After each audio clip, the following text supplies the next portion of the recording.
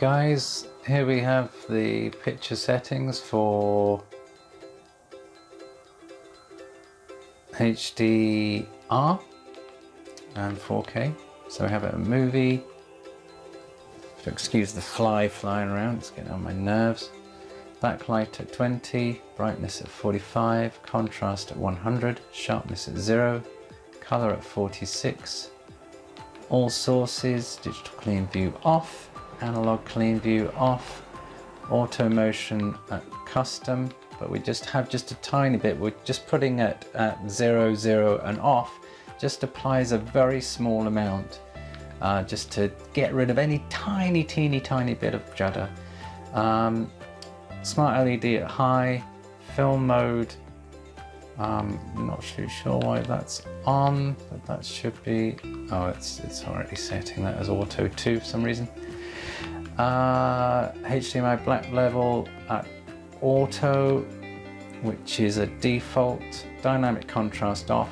Color tone at warm 2 now if that's too yellow for you, you can always set it at warm 1, which is a more bluer tone, but warm 2 is closer to SMPTE standards.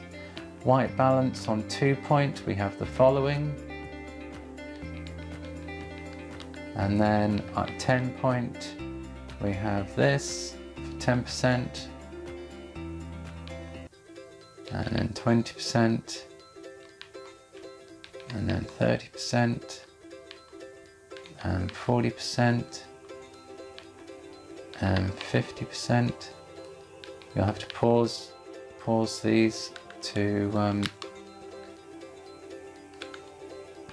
to get the numbers. That's 60%, 70%, 80%, 90%, and 100%. So that's the white balance. Gamma we set at zero. Color space we set at custom. Magenta. Cyan. Again, you'll have to pause this video at these points to get the, the numbers. Yellow. Blue. Green. red. And there we go. And those are the picture settings for HDR and 4K. And uh, I hope you enjoy these settings and you get the most from them. Any questions, please let me know.